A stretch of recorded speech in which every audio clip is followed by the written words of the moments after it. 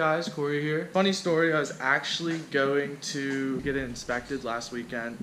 I went to put in gear and it just would not go into gear. So we got a nice day. What I got today is some Exedy and ISR performance parts. Uh, thank you Enjuku for the hookup. I'll leave the link in the description down below for all the parts that you're about to see me put on. We have the master clutch right here. This all came in as, as a kit.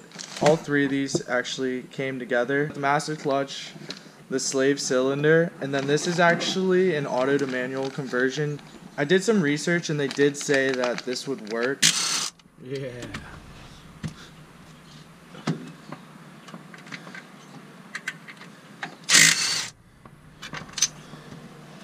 Slave cylinder out. Just been through a lot it looks like. We got the new one assembled.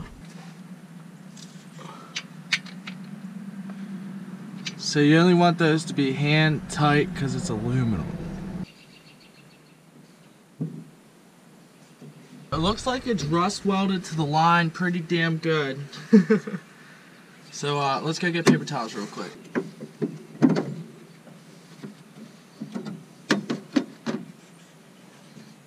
I got the clutch line removed from the master clutch.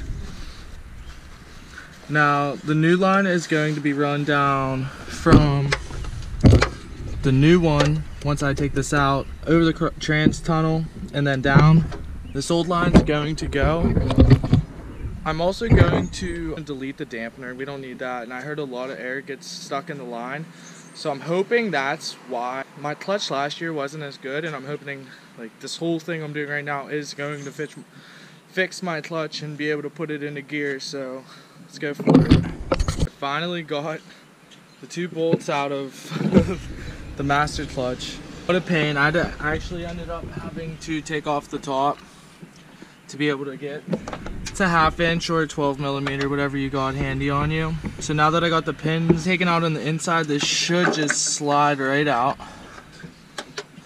Here is the master clutch. So we're going to actually, one thing you want to do whenever you get this, you want to lay it out with the other one. And actually what we're going to do is we're going to have to take off this, but we want to make this the same length as the old one. That way, have much clutch play. Let's go ahead and we will make this about equivalent length.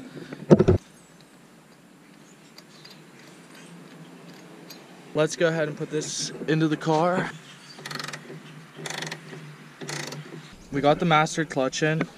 We're gonna. This is gonna go here, and we want to route it towards the back of the car. And then now that we got that in, we're gonna go ahead, take our pin and our clip.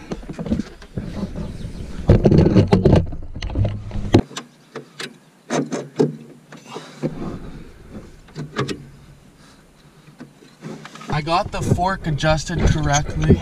Now the clutch is all the way, comes all the way out as you can see right, right there. Everything on the inside is pretty much done for the most part. Now we just got to run the line from right here Unfortunately, I ran out of time tonight to finish it, so weather permitting, tomorrow it looks like we are going to have to run the line from the master to the slave, and then maybe we can get under and remove the dampener. What's up, party people? It's day two. Ba-bam! I went ahead and I ran the line the other night whenever it got dark, so I really couldn't film it, film anything. Here's the new line right here. Everything's ran now. All that's really left to do is replace the transmission because it is now a week later and I bled the clutch and replaced everything and my car still won't go into gear. So I've come to the conclusion that it is probably my throwout bearing, my pressure plate, or my flywheel, or the transmission general. I ended up picking a transmission off of my teammate. It's a good working condition transmission, so I'm super stoked about that and we will be throwing that in this Friday, so stay tuned for a video. And as always, thank you for watching. Don't forget to drop a like, a comment, and subscribe for more awesome content. Thank you, and we will see you next time.